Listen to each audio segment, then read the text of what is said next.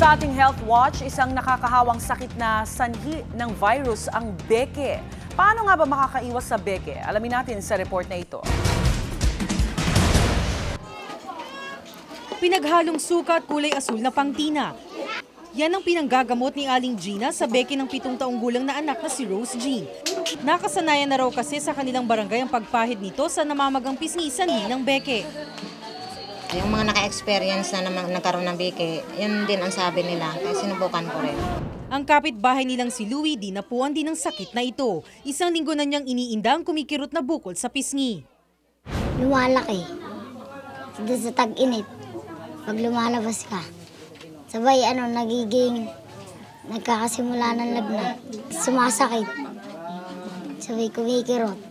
Ang beke o mumps ay isang nakakahawang sakit na sanhi ng virus. Ang mga sintomas nito ay lagnat, pananakit ng katawan, pagkawala ng gana sa pagkain at parotitis o pamamaga ng salivary glands. Ayon sa isang eksperto, kusa itong gumagaling sa loob lamang ng isa hanggang dalawang linggo. Kaya hindi raw nakakapagpagaling ang pinapahid na suka tina dahil isa lamang itong sabi-sabi. Ang magagawa lang natin for that is symptomatic treatment.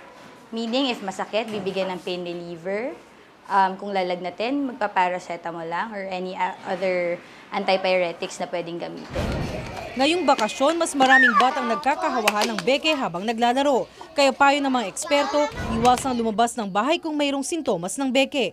Magpabakuna upang makaiwas sa sakit na ito, panatilihing ding malinis ang pangangatawan at magpakonsulta sa doktor kung kinakailangan.